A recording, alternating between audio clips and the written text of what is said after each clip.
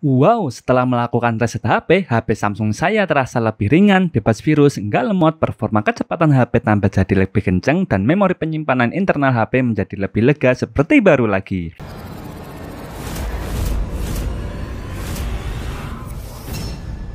Halo Sobat Bahman, bertemu lagi di channel Bahman Otak Atik Android. Oke, pada kesempatan kali ini Bahman mau berbagi dua trik nih Bagaimana cara melakukan reset HP di HP Samsung Untuk semua tipe mulai dari HP jadul sampai terbaru Yang aman sesuai rekomendasi resmi dari Samsung Official.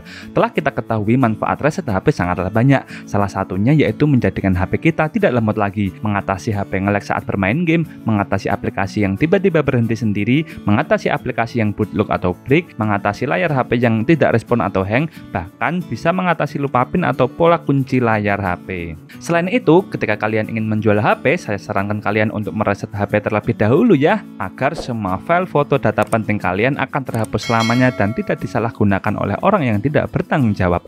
Ada dua layanan resmi reset HP yang disediakan oleh pihak Samsung, yaitu melalui Factory Reset menu setelan dan Recovery Mode Hard Reset. Cara ini sudah Mbah Man uji coba berkali-kali dan hasilnya berhasil sangat memuaskan. Dan untuk cara yang kedua ini juga bisa untuk mengatasi masalah lupa PIN atau pola HP. Sebelum kita melakukan reset HP, kita backup dulu ya data kita. Untuk cara backup data, kontak chat, WhatsApp, foto, dan lain-lain, linknya ada di atas ini atau di deskripsi di bawah ini. Dan pastikan kondisi baterai HP minimal 50% ya, agar ketika proses reset HP tidak kehabisan baterai. Cara pertama untuk melakukan factory reset melalui menu setelan, langkahnya kalian buka dulu menu setelan atau pengaturan, kemudian drag ke bawah dan pilih manajemen umum, lalu pilih reset. Nah, di sini ada beberapa pilihan reset. Jika kalian ingin reset semua pengaturan menjadi pengaturan default atau pengaturan awal, maka pilih reset pengaturan ini saja. Tapi di sini saya ingin melakukan reset semua data, pengaturan foto, video, dan lain-lain, maka saya memilih reset data pabrik. Dan nanti setelah reset data, semua akun, file foto, lagu, dan lain-lain, semua akan terhapus secara permanen. Pastikan kalian sudah benar-benar membackup datanya terlebih dahulu ya. Jangan sampai menyesal di kemudian hari. Hehehe. Lalu pilih reset dan hapus semua. Nah, di sini jika HP kalian sudah tertaut dengan akun Samsung, maka untuk melanjutkan langkah resetnya, di sini Samsung akan meminta verifikasi bahwa ini adalah benar-benar Anda. Jika kalian ingat betul password dan email akun Google kalian yang tertaut dengan akun Samsung, maka silahkan kalian pilih kirim email ini. Tapi jika kalian lupa dengan sandi akun Google atau akun Samsung kalian, maka kalian gunakan cara kedua saja ya, agar HP kalian tidak terkunci dengan akun Google maupun dengan akun Samsung. Samsung. Tapi jika HP kalian tidak tertaut akun Google maupun akun Samsung sama sekali, maka tidak ada proses verifikasi seperti ini. Terus kita pilih kirim email saja. Lalu buka email kalian dan pilih continue with ini. Terus setelah itu silahkan kembali ke pengaturan lagi, maka secara otomatis HP langsung akan melakukan reset HP sendiri. Proses ini membutuhkan beberapa waktu ya, tergantung dari kecepatan prosesor HP kita. Saya cepatkan saja untuk videonya. Setelah proses selesai, kita setting-setting ini saja ya.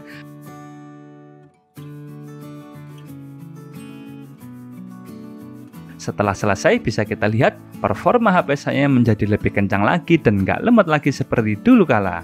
Kemudian kita coba buka file manager, lihat semua foto, video, serta musiknya semuanya sudah bersih dan ruang memori internal kita menjadi lebih besar dan lebih lega lagi dan juga semua email yang tertaut di HP semuanya akan terlokot dan semua akun-akun yang ada di aplikasi juga akan terlokot sehingga tidak bisa disalahgunakan oleh orang lain. Hebat sekali bukan? Untuk cara yang kedua, melakukan reset data melalui recovery mode hard reset. Dengan cara ini, kita bisa mereset HP meskipun kita sudah lupa sandi akun Samsungnya ataupun sandi akun Google-nya. Bahkan dengan cara ini, kita juga bisa mengatasi lupa PIN atau pola kunci layar yang terkunci. Langkah awal sebelum melakukan reset HP dengan hard reset ini, kalian wajib keluar dulu akun Google yang ada di HP kalian, agar ketika reset HP, HP kalian tidak terkunci dengan akun Google. Contohnya seperti ini.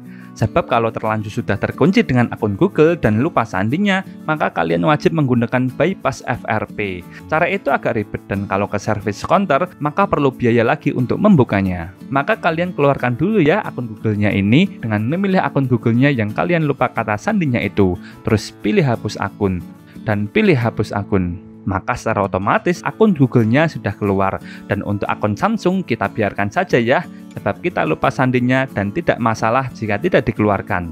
Langkah selanjutnya matikan dulu HP kita dengan menekan tombol power. Setelah keadaan mati untuk masuk ke recovery mode, tekan tombol power dan volume atas secara bersamaan untuk beberapa detik. Setelah muncul logo Samsung, kalian boleh melepaskan tombol powernya, tapi tetap dengan menekan tombol volume atas. Setelah itu, kita akan dibawa masuk ke menu recovery mode Samsung. Untuk melakukan reset data, kita pilih web data atau factory reset ini dengan memencet tombol volume down atau bawah untuk menggeser menu ke bawah dan tombol volume up untuk menggeser menu ke atas. Dan tekan tombol power untuk memilihnya. Kita pilih web data ya. Lalu kita pilih factory data reset. Setelah itu, pilih Reboot System Now. Kemudian secara otomatis HP akan mati sendiri dan melakukan proses reset HP. Kita sungguh saja ya untuk beberapa menit.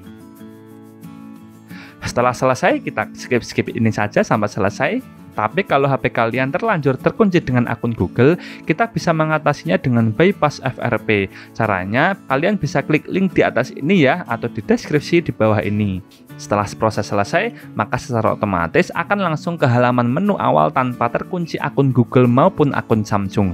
Bisa kita lihat, hasilnya luar biasa bukan? Dan kita lihat di file manager semua filenya sudah bersih seperti baru lagi. Oke begitu saja Sobat Maman untuk tutorial kali ini. Apabila masih ada pertanyaan atau kebingungan silahkan isi komentar di bawah ini. Semoga bermanfaat. Sampai jumpa di video selanjutnya. Assalamualaikum.